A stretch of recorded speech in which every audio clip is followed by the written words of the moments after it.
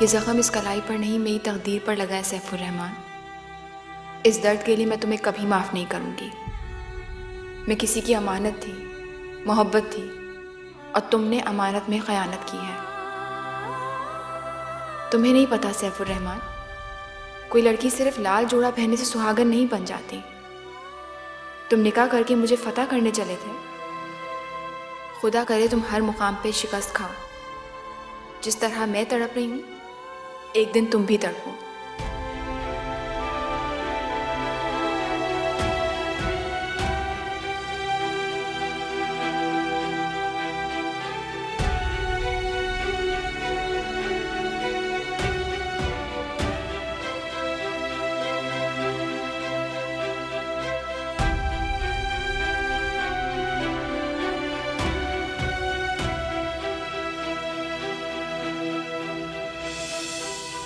रायमा रायमा तुम आ गई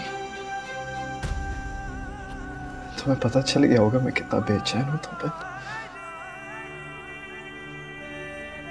हारिस? कैसी तबीयत है तुम्हारी? राइमा का कुछ पता चला?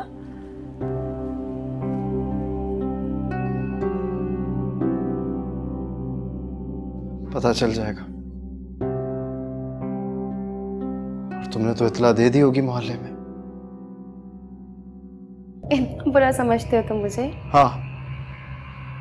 एक आम सी लड़की जो कोई बात राज नहीं रख सकती। कैसी बातें कर रहे हो? अच्छा चलो बताओ। आज तक तुम्हारी कौन सी बात है जो मैंने किसी को बताई है? सिर्फ़ बताया नहीं है तुमने माँ। ढिंडोरा पीटा है तुमने अपनी इस मोहब्बत का। और ये बात तुमने राना तक को भी बताई थी पता है तुम्हें? हाँ तो इसमें झूठ नहीं है। ये सच है। मैं पसंद करती हूँ प्लीज़ शट अप यार इतना गुस्सा इतनी नाराज़गी आखिर मैंने क्या बिगाड़ा है? राइमा मेरी भी दोस्त है ठीक है? मैं भी जानना चाहती हूँ वो कहाँ है कैसी है? मुझे तो कोई कुछ बताता ही नहीं है। अच्छा। तो तुम इस घर पे नज़र रखने आती हो? इस घर में क्या हो रहा है ये सुनगुन लेने आती हो ताकि तुम सबको बता सको मोहल्ले में?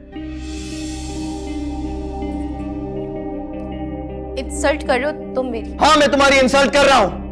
और तुम इस बात को फील करो। अगर तुम चाहती हो कि मैं तुम्हें मजीद जलील ना करूँ ना तो आइंदा दोबारा यहाँ पर मत आना। क्योंकि इस घर में रायमा के अलावा ना मैं किसी का भी वजूद बर्दाश्त नहीं कर सकता समझी तुम?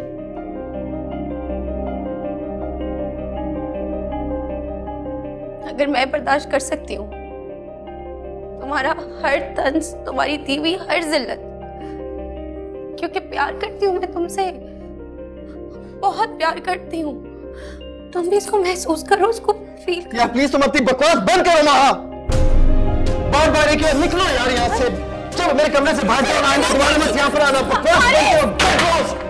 लीव मी अलोन नहीं चाहिए मुझे किसी की मोहब्बत। सिर्फ़ रहना चाहिए मुझे। सिर्फ़। इसके अलावा मुझे कुछ और समझ नहीं आता।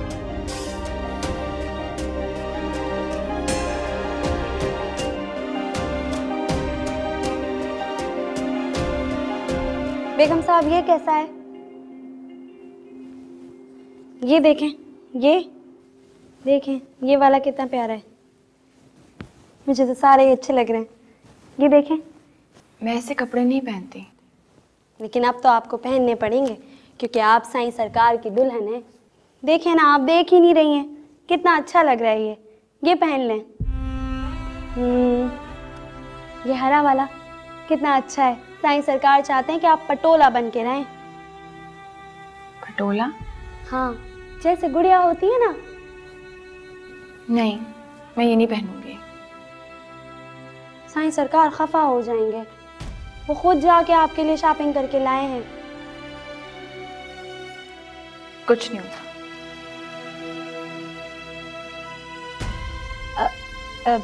एक बात पूछूँ बेगम साहब? मुझे बेगम साहब मत कहो। क्यों जी? क्योंकि तुम मुझे बहुत अच्छी लगती हो। मेरी दोस्त बन जाओ। मैं आपकी दोस्त। मैं तो आपकी नौकर हूँ। नहीं तुम साईं सरकार की नौकर होगी। मेरी नौकर नहीं हो। तो आप साईं सरकार की बीवी हैं? ज़बरदस्ती की बीवी। कुछ भी है बीवी तो बीवी होती है ना। फिर छोड़ो। तुम क्या पूछ रही थी? आप बुरा तो नहीं मानेंगी? नहीं पूछो। साईं सरकार ने आपको तोहफे में क्या दिया? मेरा मतलब है जी, कोई बड़ी चीज़ दी होगी ना, बंगला या गाड़ी। जितने जख्म उन्होंने मेरे दिल और जिसम पे दिए उससे अच्छा कोई तोहफा हो सकता है।